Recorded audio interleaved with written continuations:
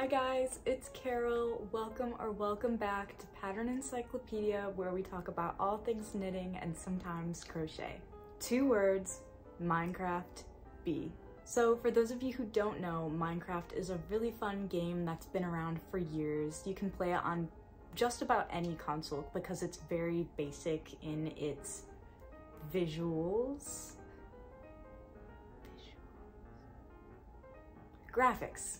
It's very basic in its graphics and so they've been able to make it for all kinds of different platforms. I like to play on my Switch, but there's a bunch of different versions out there. I've always loved playing Minecraft ever since I was introduced to it. It can be a really relaxing game or a really scary game depending on how you play it but Minecraft has recently come out with a new update, which has gotten me back into playing a lot recently. Jumping back into Minecraft, I was reminded of how much I love the Minecraft bee. Just look at him.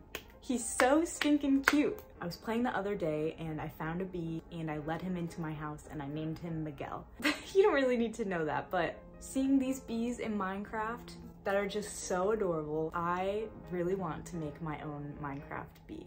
I mean, how hard can it be?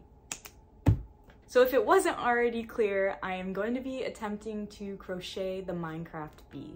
Now I think this should be fairly straightforward because the bee is already pixelated, so I'll be able to just go through and, you know, stitch by stitch based upon the color of the pixel, make a bee. I don't really know. You guys are gonna come along with me and we'll figure it out as we go. Let's get into the video. So the first thing I did was I made my chart and I use this website called Chart-Minder. It just allows you to go through and add the colors for each stitch and I treated each pixel as four stitches just so it wouldn't be super tiny. And after I did that, I went ahead and got started on my very first panel. So I started by chaining in just one solid color and then I went through and started doing the color work. Here's what it looked like after the first few rows. As you can see, I was feeling kind of unsure at this point. There's just a lot going on. Okay guys, it's day two, and as you can see, I didn't get very far on the bee yesterday. There's so much going on with all of the color changes that I got really overwhelmed and kind of frustrated because I would, you know, crochet a couple things and then have to change colors. I seriously don't know how people do tapestry crochet. Like, this is, this is a lot. Um, I don't know. I just don't know. It's looking very interesting. I think what I'm gonna do is I'm gonna go through today and work up this entire section of the bee. I might change up my technique a little bit because yesterday I was going through and doing that thing where you're weaving in your ends as you go. So for my more expert crochet friends out there, where you kind of place the yarn and then I don't know how to explain it. Um, where you place the yarn underneath the stitch that you're going into so that it secures it in place. I don't know if that makes sense, but that's what I was doing yesterday. And as you can see, there are a lot of loose ends that I was doing that with. And so it was making it go like 10 times longer than it needed to go. So I might stop doing that and see if it works better. I don't know, we'll see. I'll keep you guys posted, but my goal for today is to get this section done and see what it looks like. But uh, here we go. I feel like I should also mention I learned how to crochet after I learned how to knit, and although a lot of people say that knitting is harder, it comes a lot easier for me since that's what I learned first. So this is definitely pushing the limits of my knowledge of crochet. Okay, so I went through and weaved in my ends kind of to the back. So all of the ends are on one side now. So only one side looks absolutely chaotic, but this is what the front looks like. And I think we can work with that. There's some kind of gaps where I changed colors, but it looks like a bee kind of, right? Right? I think I think we can make this work. All right, this this makes me feel better about this project. So now that I've got one piece done, I'm gonna go through and work on the rest of the pieces. And then I will sew them together and stuff my bee and he will be complete. I'm definitely not an expert crocheter, but you know, it's not terrible. It could be worse. With that, I went ahead and worked on the next panel. Here's the finished second panel. I wanted to kind of visualize what it would look like when it was actually attached. And here's what the back looks like. Okay, so I've just gotten started on my third panel of six? Wait. Five. I just got started on my third panel of five and I'm gonna show you guys real quick why I just don't know how people do tapestry crochet. So this is what my workspace looks like. There's just so much yarn. I'm I'm pretty overwhelmed, but you know what? I'm gonna push through because I know that it'll be worth it. Okay, here's another panel. Now I just need to make this look a little more like something. Ignore that. Okay, so only three more to go and then we can start connecting these and then make the wings and then the antenna and then the legs. Remember all those loose strands from the last panel? Well, this is me realizing that you can carry yarn in crochet from row to row. And here's the difference. So this is me carrying yarn, and the other was not carrying yarn.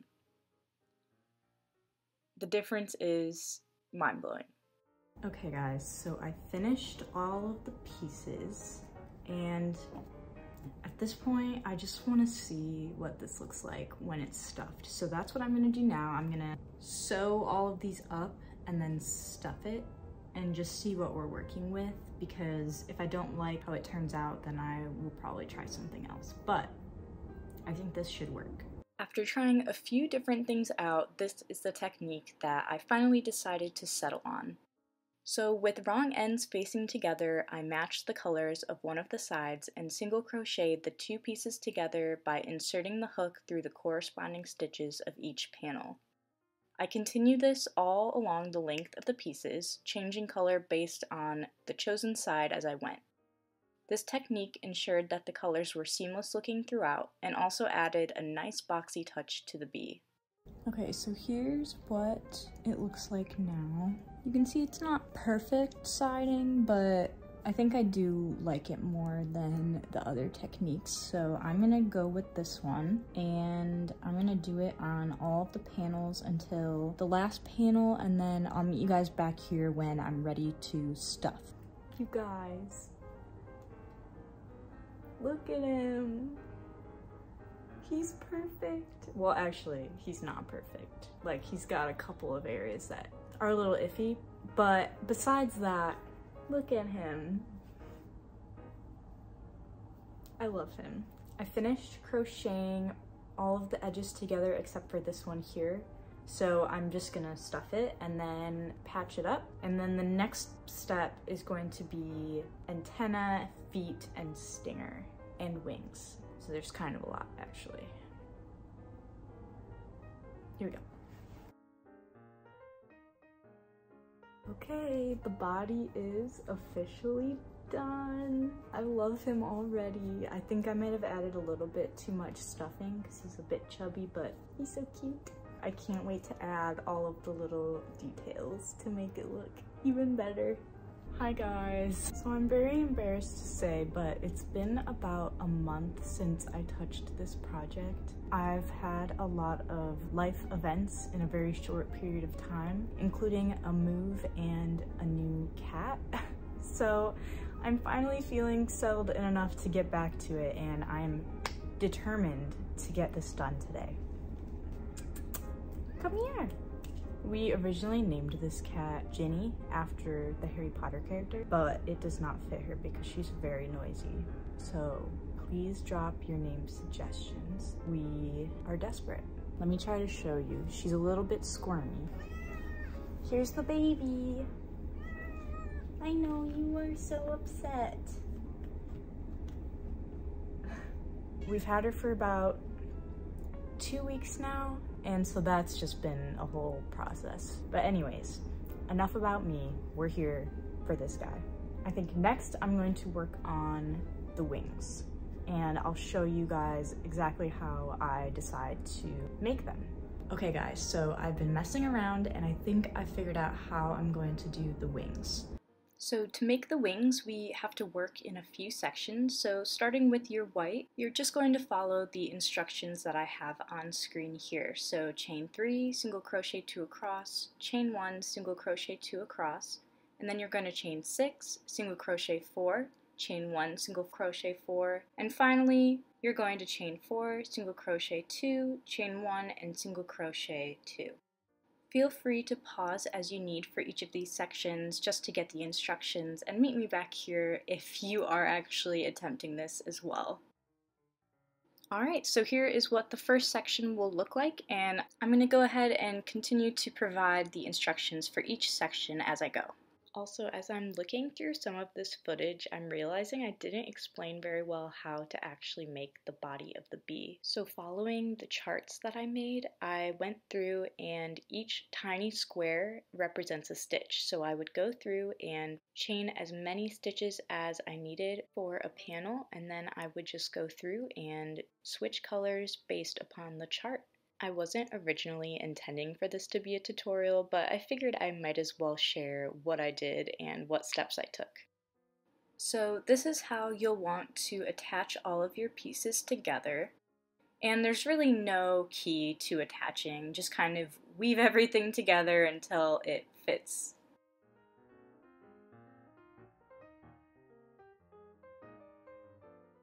Moving on to the antenna, I went ahead and grabbed my black yarn, and I would recommend a more structured yarn for this if you have it, one that's not so floppy, because my antenna did turn out a bit wobbly. After making two antennae, I went ahead and moved on to the legs and the stinger, and I'll go ahead and put the steps that I used on the screen for you.